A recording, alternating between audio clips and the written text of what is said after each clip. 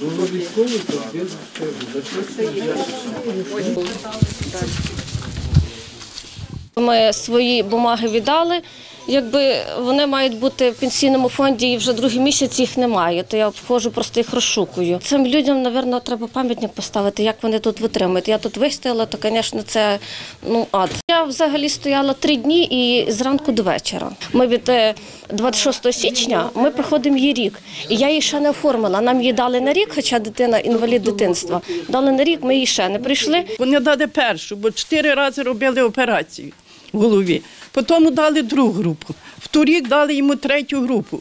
Цього року зняли, забрали групу, ніби йому легше стало. Я це написала заяву, на, щоб обди- подивилися, бо перевірили, як.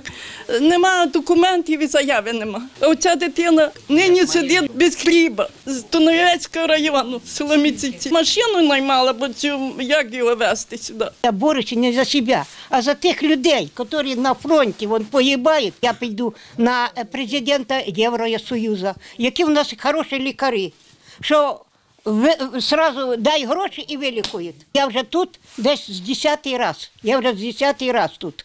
Ще при тому був голови, це я вже 16 років тут була, відмову давала. І той так само відмову давав мені. Ні, тут нічого не зміниться. І бачу вивіску. Вже давно подругу взяли в наручники, я тут сам, крупу. Чого вивіски не змінять? Що завтра чекає, що вона прийде опять е, за деньгами до людей. Мусить працювати, бо зараз дуже складний час.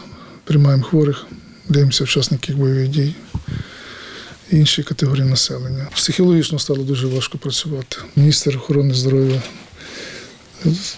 сказав на нараді і на РНБО, що до кінця року планується приймування МСЕКів вже в іншій категорії, що хворі будуть і далі приймати, але вже будуть ну, в кластерних, надкластерних лікарнях щоб але вже буде по-іншому називатися служба. Перевірка постійно триває.